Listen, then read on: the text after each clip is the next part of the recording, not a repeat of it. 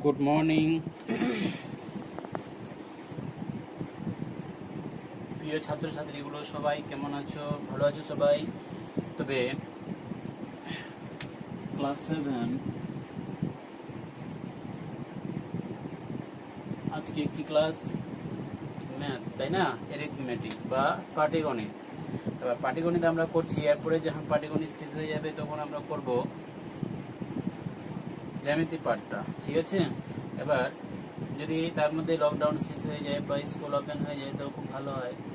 কারণ অনলাইনে আর অফলাইনে অনেক ডিফারেন্স তাই না?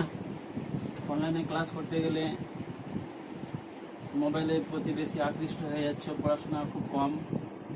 আর অফলাইনে সেটা হয় না অফলাইনে খুব ভালো হয়। তো আজকে আমরা দেখো, আমি এর আগের দিন দিয়েছিলাম আটেরগুলো, যে ভাগ পদ্ধতিতে বর্গমূল নির্ণয় করো, তাই না? কি দিয়েছিলাম? যে ভাগ পদ্ধতিতে বর্গমূল নির্ণয় করো।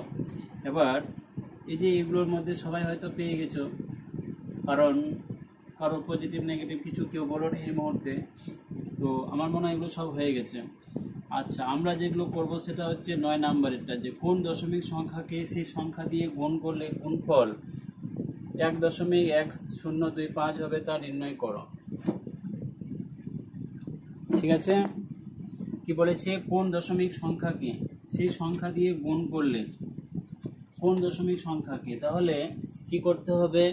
এক দশমিক এক শূন্য দুই পাঁচ তোমাকে আগে বর্গমূল নির্ণয় করতে হবে। ভাগ প্রক্রিয়ায় বর- বর্গমূল করে দেখাতে হবে, ঠিক আছে? ভাগ প্রক্রিয়ায় বর্গমূল করার পর তোমাকে করতে হবে।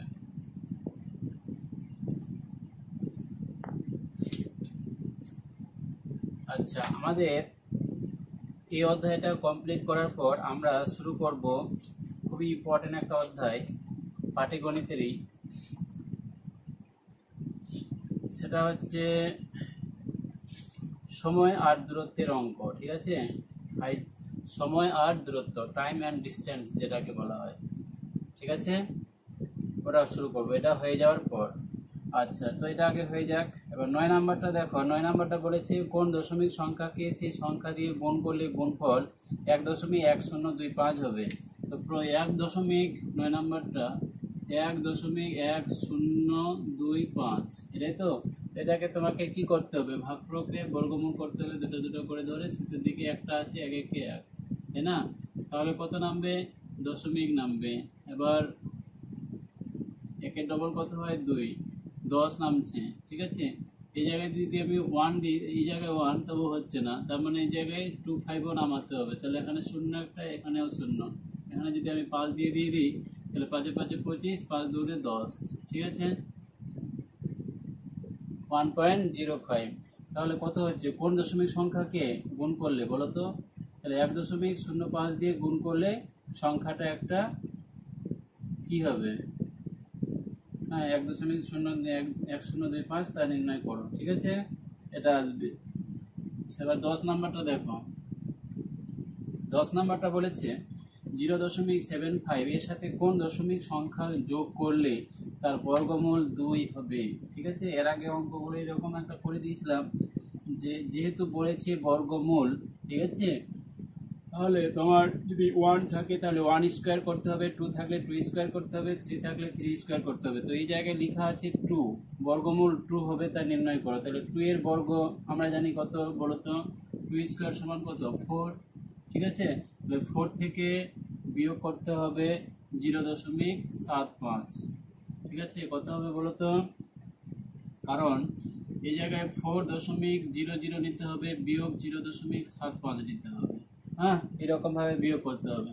তাহলে পাঁচ, সাত আর একে, আট, দুই দশ, দশমিক হাতে থাকল এক, তিন তিন দশমিক, দুই পাঁচ। তাই তো? এরকমভাবে করতে হবে। ঠিক আছে? বুঝতে পারলে? যোগ করলে তাহলে লিখে দিবে যে কত হবে বলো তো? যে কত যোগ করলে তাহলে লিখে দিতে হবে যে তিন দশমিক দুই পাঁচ, এর সাথে পঁচাত্তর, জিরো দশমিক সেভেন ফাইভ যোগ করলে সংখ্যাটা একটা পূর্ণবর্গ মানে দুইয়ের বর্গ দুইয়ের বর্গ বর্গমূল দুই হবে ঠিক আছে? বর্গমূল দুই হবে কারণ তিন দশমিক দুই পাঁচ আর যদি পঁচাত্তর যোগ করো তাহলে চার আসবে শুধু চার আসবে আর চারের বর্গ মনে হচ্ছে উম, চারে যদি চারকে যদি আমি বর্গমূল করি তাহলে কত হবে? দুই হবে আসছে কি না আসছে? হ্যাঁ কি অ্যান্সার ঠিক আছে? আচ্ছা এগারো নাম্বারটা দেখো, এগারো নাম্বারটা বলেছি আটচল্লিশ দশমিক শূন্য নয় থেকে কোন দশমিক সংখ্যা বিয়োগ করলে বিয়োগফলের বর্গমূল পাঁচ দশমিক সাত হবে তা নির্ণয় করো, ঠিক আছে? তাহলে এটা কি রকম করতে হবে? দশ নাম্বারটা। হুম, বলো। দশ নাম্বারটাতে কি আছে? দশ নাম্বারটা এগারো নাম্বারের মধ্যে এগারো নাম্বারটা সরি এগারো নাম্বারটা কি? দশের মতোই করতে হবে কারণ five point seven five point সেভেনের স্কোয়ার করতে হবে। ফাইভ পয়েন্ট সেভেনের স্কোয়ার যা আসবে মানে five point seven into five point seven ঠিক আছে?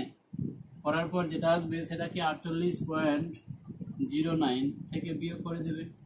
বুঝলে? যদি বেশি হয়ে যায়, তাহলে কত হবে? বিয়োগ করতে হবে ওটা থেকে, এটা পাঁচে পাঁচে পঁচিশ হ্যাঁ। দিয়ে যেটা আসবে সেটা উত্তর হবে। বুঝতে পারলে? এরকম ভাবে করতে হবে। আমি শুধু বারো নাম্বারটা করে দিচ্ছি। আর এগুলো তো পেয়ে যাবে তেরো নাম্বার চোদ্দ নাম্বার কি নিয়মে? এর আগে করা হয়েছে। ঠিক আছে? তো এগারো নাম্বারটা করে নেবে। তোমাদের কাজ হচ্ছে কি? নয় দশ এগারো এগুলো করা। হ্যাঁ করে দেখাবে অবশ্যই।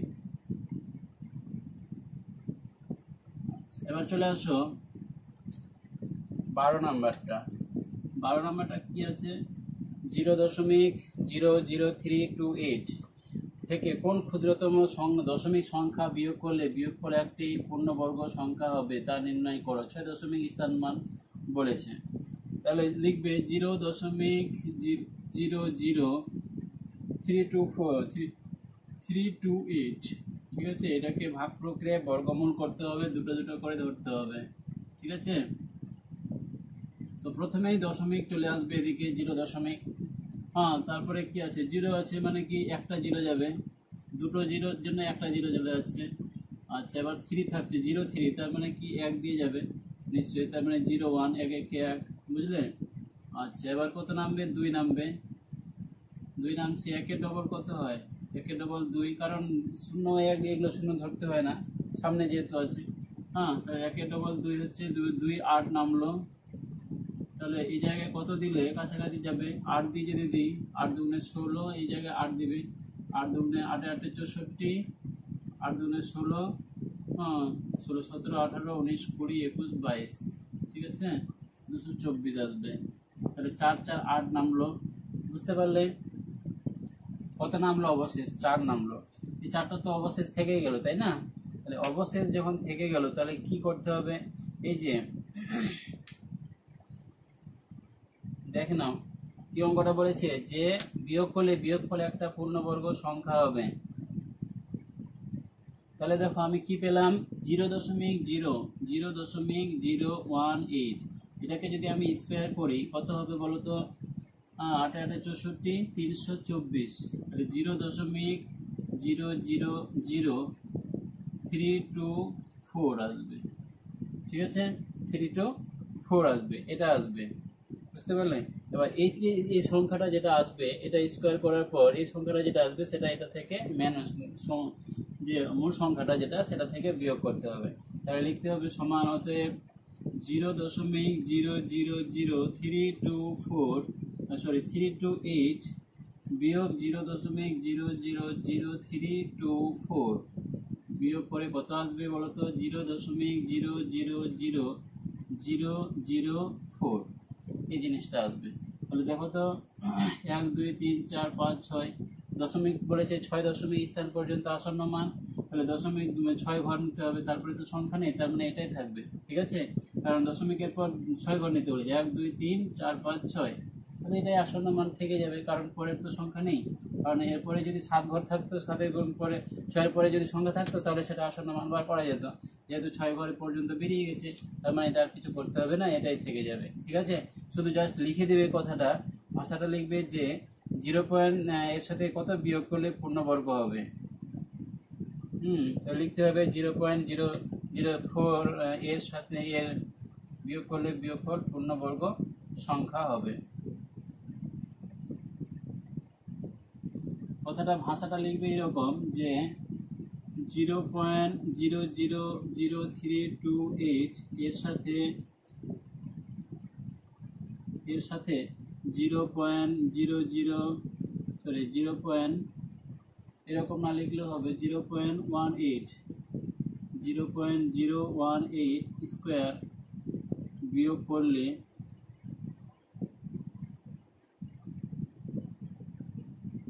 সংখ্যাটি পূর্ণবর্গ সংখ্যা হবে।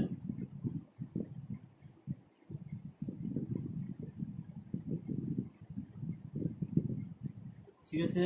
খুবই ইম্পর্টেন্ট অঙ্ক এটা। ভেরি ভেরি ইম্পর্টেন্ট ঠিক আছে? এটা ভালো করে করবে। হলো তিন আর ছয় দশমিক স্থান পর্যন্ত আসন্ন মান তো পেয়ে গেছি, বলে দিলাম। তাই না? বুঝতে পারলে এটা? আশা করি সবাই।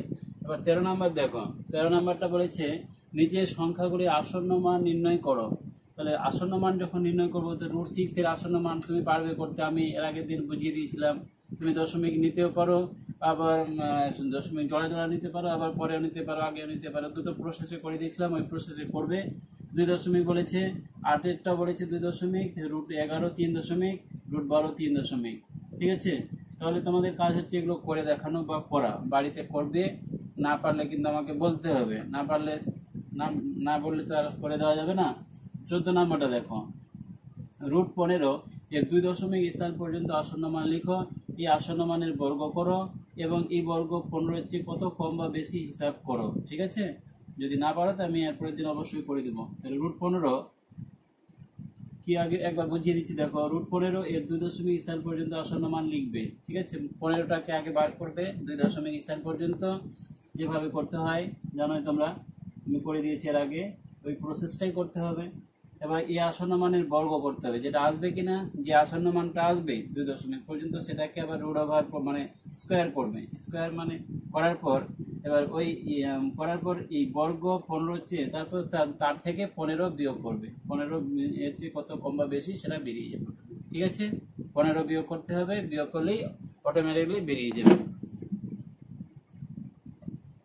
বোঝা গেল? তাহলে এই পর্যন্ত থাকবে।